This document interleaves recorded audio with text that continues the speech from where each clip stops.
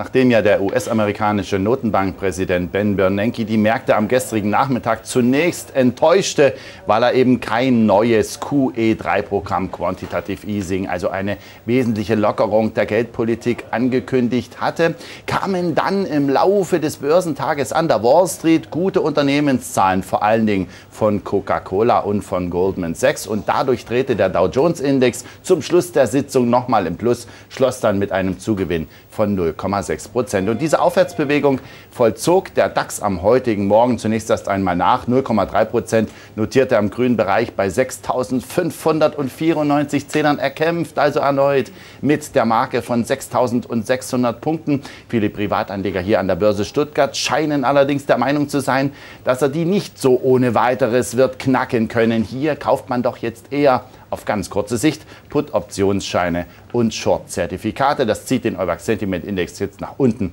auf ungefähr minus 20, minus 30 Punkte. Wir können uns aber auch mit Einzelwerten äh, beschäftigen und zwar vor allen Dingen mit den Sportartikelherstellern. Puma wird angesichts eines Gewinnrückgangs im ersten Halbjahr dieses Jahres die Umsatz- und Gewinnprognosen nicht halten können. Es ist quasi eine Gewinnwarnung, die herausgegeben wurde und darunter leidet heute natürlich die Aktie mit einem deutlichen Abschlag von 5% aktuell auf 214,35 Euro.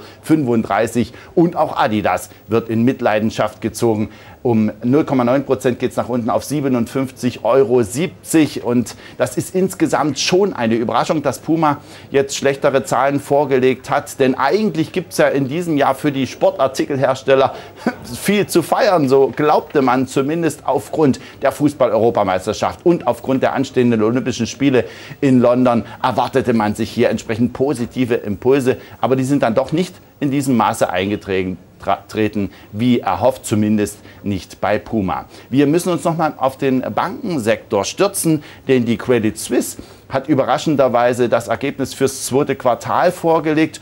Und äh, dort gab es ein Ergebnis im Rahmen der Erwartungen. 788 Millionen Schweizer Franken Reingewinn gab es nach 768 Millionen im vergangenen Jahr. Aber dann kam es. Verschiedene Maßnahmen sollen nämlich ergriffen werden zur Kapitalstärkung der Credit Suisse. Es soll äh, das Eigenkapital um 15,3 Milliarden Schweizer Franken aufgestockt werden. Außerdem will man noch kräftiger sparen, die Kosten stärker als bisher geplant senken und all dies zusammengenommen soll zu 80 Prozent nicht verwässernd wirken. Und das zieht jetzt die Credit Suisse Aktie um 6,1 Prozent nach oben. Deutsche Bank Aktien können allerdings nicht profitieren. Commerzbank und Deutsche Bank liegen leicht im Minus.